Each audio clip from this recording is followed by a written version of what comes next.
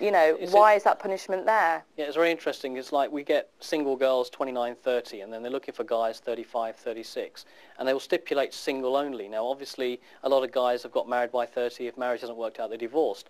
And then you sometimes have to put it, they wouldn't mind a divorced guy, but their parents are insistent that no, it should be single.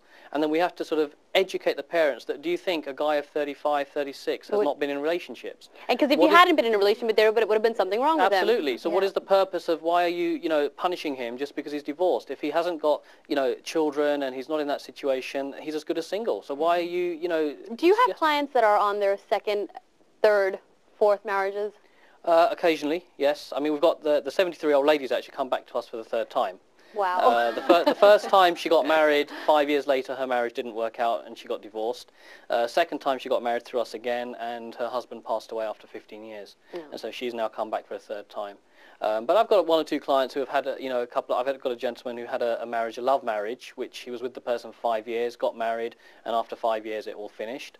Uh, the second marriage was uh, a typical arranged marriage. He'd gone to India, and you know the family Met were on, involved. on the wedding day. And yeah, Yeah. very, very quickly, within a month, everything was sort of done and dusted and whatever, and that lasted three months, and it, it went. You know, he's now come to us to, to seek help. I'm going to open this up just to whoever wants to jump right in. You're seeing an increase in South Asian couples getting divorced. More and more Asian couples are falling in love and getting married. So that doesn't really um, guarantee that if you fall in love, the marriage is going to work out for you. Um, it might or it might not. Is it that we are sending out the wrong message to the Asian youths about what marriage actually is?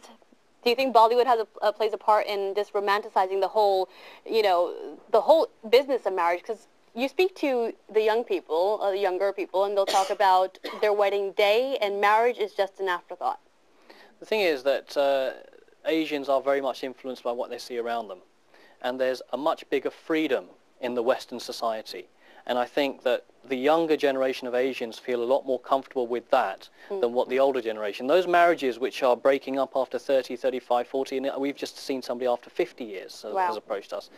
The fact is that they are now realizing that they have that freedom to walk away from it. Whereas before they felt tied down simply because of the pressures of the families being around them. But because couples are now choosing to live by themselves, they're moving away from joint families and uh, you know the immediate family around them. So it's giving them a lot more freedom, and that's really which way we sort of tend to be going. Kuldeep, what do you think? Do you think that these these uh, marriage bureaus, networking, dating events, are they just completely going to replace your parents getting involved in arranging marriages? Do you think this is what's going to replace the old arranged marriage situation?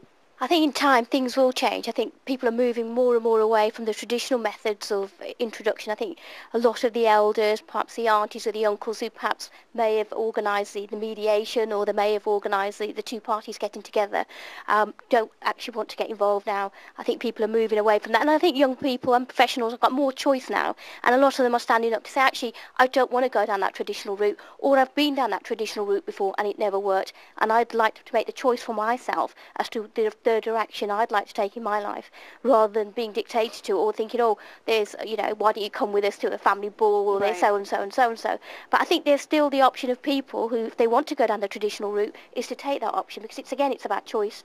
And I've got friends who've had uh, arranged marriages and they've happily married. Um, whereas, I mean, I personally had an arranged marriage and it's something that I would never ever pursue. Uh, because, you know, I think it's again based on what you've said about the basic foundations. Once the basic foundations are broken, there's no substance left. we have come into society now where you know we're all busy with careers, computers, technologies, Blackberries, this, that, and the other, and emotion has just gone. You know, where is that emotion where you went out for a walk and you held hands or you just had a cuddle? All of that's going now, and even marriage is tr- basically becoming a, a transaction of two families or two individuals getting together. And I think we need to remind ourselves, as human beings of Asian background, what the values of marriage actually are and what actually is marriage. I totally agree. I think, you know, um, I think I'd take my vows once. Never did I ever think that I'd be joining professional networking events or even hosting them as a professional myself. So I think your your point is key about having the basic foundations. And I think any good marriage, if both parties are at the same level, um, you know, in terms of their value base, I think that's a good start. Right. I'd say people from all different backgrounds would do well to re- think about what marriage is really about and what's really important. This is true, but I think we are losing it. Yeah, in the Asian are. community. We it was a very strong part of family. Um, you know, you had emotions for your children. You wouldn't want to leave them with nannies all day long. You know, there was a lot more closeness for parents, and, and all of that's going because we're busy with our lives. We want to get on, make money, and develop ourselves, and you know, establish status. And our children are being picked up by nannies and fed by nannies, and we just say good night, good morning, and that's it. You know, so those great shame. children have no value. They don't know who they are, and know- that's what we're losing. a strange thing about all this whole arranged marriage thing. Probably you guys don't know, but actually, if you look back in British history, hmm. English people used to have arranged Yeah. marriages. Yeah. And Mm, English people had very different kinds of marriages to what some English people have today. And the, the whole system of relationships, it's, it's a global thing. It's not just, you know, happening amongst Asians, but what's happening amongst Asians now happened amongst English people 50 to 100 years ago. And it's, it's, it's a sad trend, I think, you know, all around the world. We've replaced virtue with value. And it, those are false values as well in most cases. Just uh, coming back to Mina real quick. Mina, tell us about the DVD that you're that you've um, worked Yeah, on. Yeah, we've um, in Leicester we've been commissioned by the Prince's Trust to actually film a DVD on um, what is a forced marriage and what is honour killings, um, and it's been produced by young people in Leicester um, and then will be given as an awareness raising DVD to professionals such as the police, mm. schools, health, social services and local universities as well. Um, but just to make the real distinction, um, a forced marriage is anything that's done under duress. So whether you are mentally or physically being forced into marriage. that would account for a lot of the South Asian marriages. Well, though. this is what I was going to go on to. It's really interesting. We've been talking, you know, listening to this debate about love marriage and arranged marriages. I have a lot of friends that are going through, you know, these, um, these. They go to these dating events and they're being introduced to partners by their parents. And I have a friend who's on the 11th guy. She's gone through 11 guys and she's not chosen any of them. She gets to the 12th guy and her mum says, "Stop being fussy. you have to marry Just him. agree now." Yeah. You know, because what's the community going to say? And your your auntie from down the you know the street that's introduced you to them She's is gonna- saying, mm. "What's wrong with your daughter?" Mm.